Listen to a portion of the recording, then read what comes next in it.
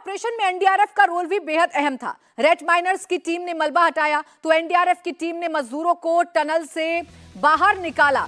NDRF ने कैसे tunnel से बाहर निकाला? कैसे एनडीआरएफ ने इस मुश्किल आ, समझ में आ रहे काम को संभव करके दिखाया? आपको एक एनिमेशन के ज़रिए समझाने की कोशिश करते हैं। देखिए होल में 900 एमएम का पाइप डाला गया था। स्ट्रेचर के साथ एनडीआरएफ के जो लोग थे वो बाहर खींच रहे थे मजदूरों को उनके साथ मेडिकल और पैरामेडिक्स की जो टीम थी वो मौजूद थी और पाइप के ज़रिए। देखिए, सबसे कामगार जो मेथड साबित हुआ, वही ये पाइप है। फाइनल ड्रिलिंग जैसे ही पूरी हुई, इस पाइप को पुश किया गया और उस छोर तक पहुँचा दिया गया, जहाँ पर मजदूर पिछले सत्रह दिन से फंसे हुए थे, जहाँ पर मजदूर पिछले सत्रह दिनों से संघर्ष कर रहे थे। इस पाइप से स्क्रॉल करते हुए एनडीआरएफ के जो जवान हैं इस छोर पर निकले, यानी कि इस छोर पर पहुँचे जहाँ पर मजदूर उनका इंतज़ार कर रहे थे।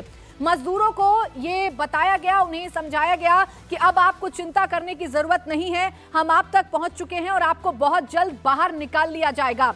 एनडीआरएफ के जवान जैसे ही मजदूरों के पास पहुँचे, मजदूरों ने उनका जोरदार स्वागत किया, क्योंकि एक उम्मीद उनके मन में जागी कि अब वो बाहर निकल पाएँगे। और एनडीआरएफ के जवानों ने संभव करके दिखाया और इन मजदूरों को बाहर निकाल लिया। एनडीआरएफ की टीम की तरफ़ से मजदूरों तक सबसे पहले मनमोहन सिंह रावत पहुँचे।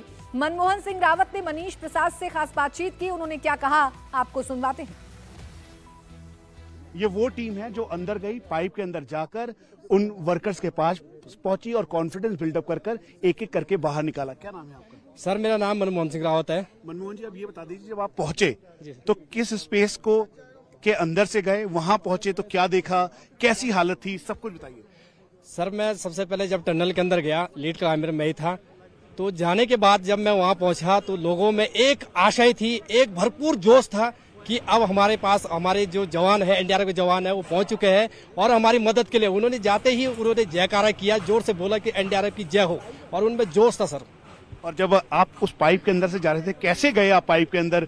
क्या क्रॉल करते हुए गए? जब मैं पाइप के अंदर गया तो मैं क्रॉलिंग होके गया। मैं सेफ्टी नी पैड थे एल्बो पैड एल्बो पैड थे नी पैड थे पूरी सेफ्टी के साथ हेलमेट हेडलाइट क्रॉलिंग करके मैं अंदर गया था सर और जब आप क्रॉलिंग कर रहे थे पाइप तो बत्तीस centimetre sir sir sir sir जब आप क्रॉल कर रहे थे तो जैसे उस जगह पर पहुँचे तो कैसे बाहर निकले और सब आपने आपको देखा तो क्या हुआ उस समय जैसे मैं सर लास्ट एंड पे पहुँचा उस छोर पे पहुँचा तो मैं जाते ही देखा कि सबसे पहले मैं उनको बोला कि मैं एनडीआरएफ की टीम पहुँच चुकी है आप लोग खुश रहिए अपना पैनिक मत होइए।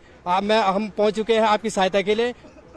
और फिर जब निकाल रहे थे आप एक एक करके कैसे निकाला उनको? सर सबसे पहले हमने क्या किया जब वहाँ पहुँचे तो सबसे पहले रोप थ्रो किया नोटेड रोप बनाया और एक किनारे से उनको नोटेड रोप के माध्यम से उनको बोला कि क्लाइम कीजिए और स्ट्रेचर के माध्यम से पूरी सेफ्टी के साथ स्ट्रेचर के माध्यम से और जो नेक्स्ट उस साइड थे वो हमारे जो साइकार थे वो अपना बिले के मदद से उन्होंने स्ट्रेचर के मदद से बाहर निकाला था सर। आप?